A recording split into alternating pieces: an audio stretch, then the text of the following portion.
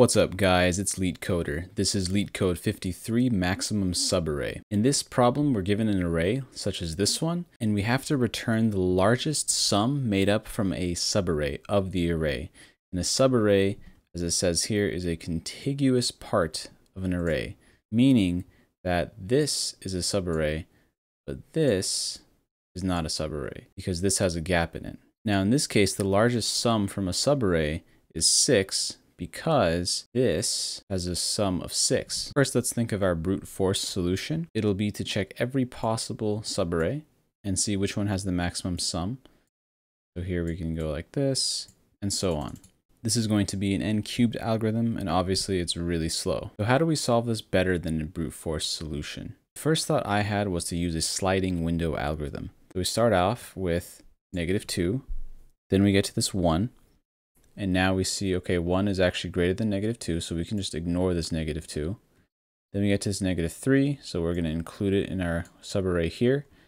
Then we get to this 4, and we see, well, 4 is actually greater than the sum of 1 and negative 3. So we can just ignore this part of the array.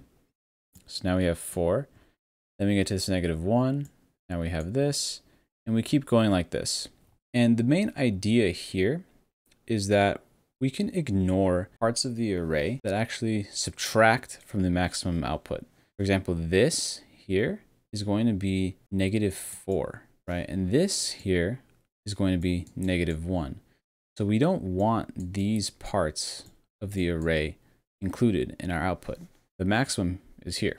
Now using a sliding window works, but it's tricky because you have to keep track of the left side and the right side of the array. Encoding that can get tricky and you have to backtrack sometimes and do some complicated logic. So what's a better way of storing information we've already seen? And the answer to that is called dynamic programming. Our dynamic programming data structure is going to be an array, the same length as nums here. And we're going to store one more variable called output, and we're initializing it to the first element of nums here. And so we go through and we go through for each num in nums, we do some algorithm. The first element, we don't really do anything because it's just the first element. So we're just going to add negative 2 here. Then we get to the second element 1. And this is where we do our algorithm. What we want to do is we want to get the max of the current number or the current number plus the previous number in our data structure. So it's going to be the max of num or num plus previous. In this case, it'll be just one here. And after we compute this, we also check if the current number in our data structure is bigger than the output. And if so, we change output to be that current number. So now we get to the negative 3, and we run this algorithm, and we see, okay, negative 3 plus 1 is bigger than negative 3. Now we put negative 2 here. Then we get to this 4, and we say, okay, is 4 bigger than 4 plus negative 2? And it is. Now we put the 4 here. Now that we've seen this 4, our output's actually going to be 4. Okay, then we get to this negative 1. We run the algorithm, it's going to be 3. Then we get to this 2. We run the algorithm, it's going to be 5. Now we replace the 4 here with 5. Then we get to this 1, and now, okay, it's going to be 6 here. So now we replace the output with 6. Then we get to this negative 5 here, and we run the algorithm. It's going to be 1. Then we get to this 4, and we run the algorithm. It's going to be 5. So we can kind of see how the algorithm works. It's just getting the maximum possible sum by comparing either the previous number or the previous sum with the current number.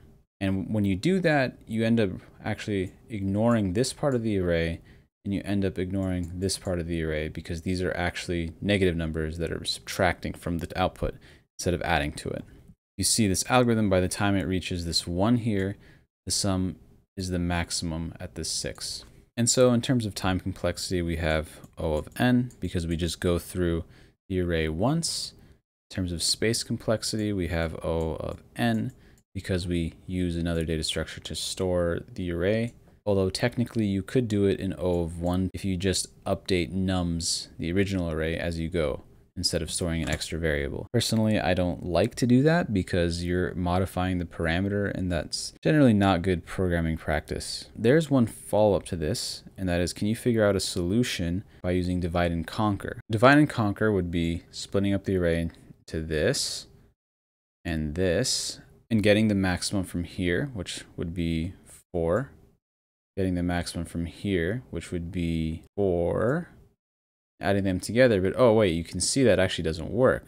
So what you actually have to do, and this is a little tricky, is you have to split up the array not into two, but into three, like this.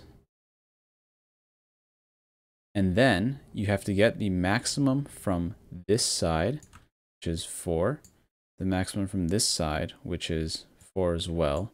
And then you have to get the maximum sum on the right side of this left side. So in other words, it would be 4 here. So let's put that over here. And then you have to get the maximum on the left side of this right array here, which is going to be 3. And then you have to get the middle number, negative 1, and add them together. So the output's going to be the maximum of the left max, right max, left sum plus mid plus right sum. So in this case, it's going to be the maximum of 4. This is 6. And this is 4, which equals 6. And so you can see it's kind of unintuitive to do it this way because you have to keep track of the left side and the right side and the middle and the right side of the left side and the left side of the right side. It gets confusing. My recommendation is to stick to dynamic programming because the algorithm is fairly straightforward, although it might be difficult to come up with. And with that said, if you found this helpful so far, please give a like and a subscribe because it really helps the YouTube algorithm. Now let's get to the code. Okay, so I'm only going to show the dynamic programming solution because it's the most straightforward to understand. So first we have our output, which is going to be initialized to the first element of nums. And then we have our data structure, and I'll just call this sums. We'll initialize it to just nums at zero for the beginning. Now for i in range one to length of nums, we get our num here, so it's nums at i. And now we run our algorithm. So we say sums dot append maximum value of num or sums at i minus 1 plus num. So there's our algorithm there, and then we just check if sums at i is greater than output, output equals sums at i, and we just return output at the end. So we got the right answer for all the example test cases here, and let's just submit, and we got the right answer.